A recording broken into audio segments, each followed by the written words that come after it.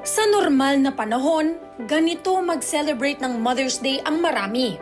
Kasama ang pamilya, may yakapan at beso-beso, minsan may regalo at sabay-sabay kumakain. Pero binago ng pandemic ang marami sa mga nakasanayan natin.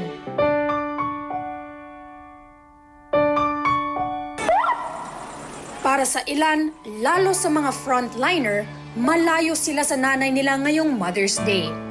First Mother's Day na hindi makakapiling ni surgery resident Dr. Kat Ray ang kanyang tatlong taong gulang na anak na si Sandy. Two months na raw niyang hindi nakakasama at nayayakap si Sandy.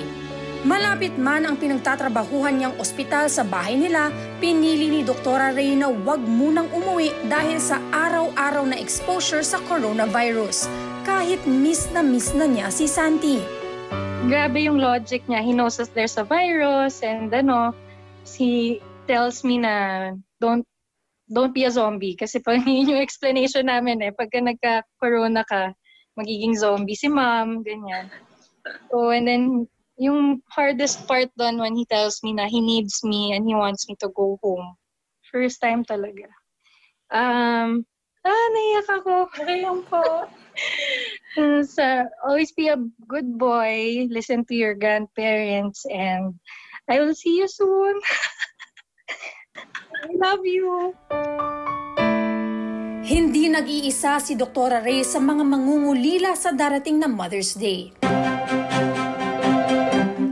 Sa ngayon, sa virtual messages muna sila aasang. Kahit papano ay mapapaligaya ang mahal sa buhay. To my mom and all the moms out there, thank you po sa pag-aalaga po sa amin pagdating namin sa bahay. Pagkatapos ng isang araw ng pag-aalaga namin sa mga pasyente namin, you taught us that no matter how tiring, anything can be done when this with love. Happy Mother's Day po! Hi Mom, Happy Mother's Day.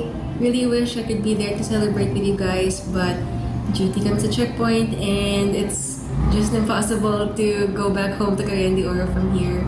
Anyway, I hope you, you're keeping safe. Please always wear a mask, eat your veggies, mag-zumba lang, and please take care of Georgie and Dad always. Love you and I'll see you soon, promise. Hi Ma, happy Mother's Day. Uh, sorry I can't be home. Don't worry, I'm okay here. Uh, I miss you. Hi ma, miss na miss na miss na kita. Uh, maraming salamat para sa lahat ng pagmamahal at sakripisyo mo para sa aming magkakapatid. This past two years, ever since na ikaw na ang tumayo bilang mama at papa naming lima. um, so hayaan mo, pagbalik ko, pagkatapos ng lahat ng to, pagkatapos ng GCQ at ECQ at lahat ng CQ, kita-kita na ulit tayo and kung saan mo gusto. game na game ako. Bye ma, I miss you. Happy Mother's Day. Ito ang unang Mother's Day na isang ganap na akong doktor. At hindi ko makakasama aking nanay. Kaya para sa lahat po ng mga nanay, mami, mama, inay, sa aking mimay, Happy Mother's Day po. Ito na lang po muna. Saka na po ang higpit na higpit na yakap. Happy Mother's Day!